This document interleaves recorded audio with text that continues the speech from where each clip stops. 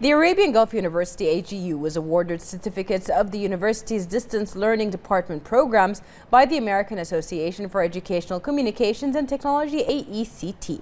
AGU President Dr. Khalid Al Ohaly said in a statement that AGU is the first university outside the United States to have its academic programs fully accepted, ratified and revised by AECT.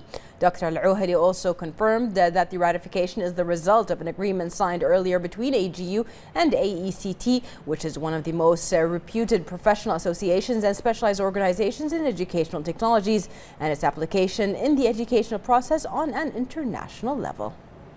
Here at the Arabian Gulf University, Gulf Cooperation Council that addresses six different countries in the region, accreditation and quality of education is the main priority, especially that our university and our the College of Graduate Study offers programs that are leading program and very specialized in whether in the education field or in the technology fields.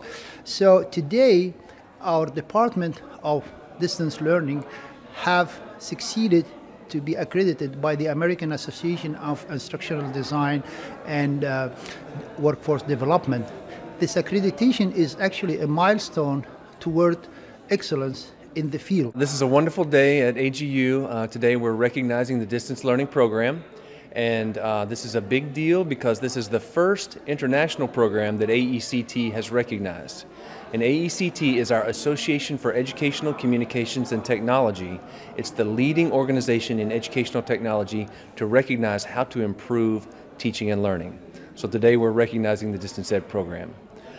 I think the main thing I would say about the AGU distance program is having we had a team that reviewed all the courses and the curriculum and we found that it's a very good quality. There were no major gaps or missing information that we were, we were glad to see. And so um, overall we're very pleased with what AGU has presented today.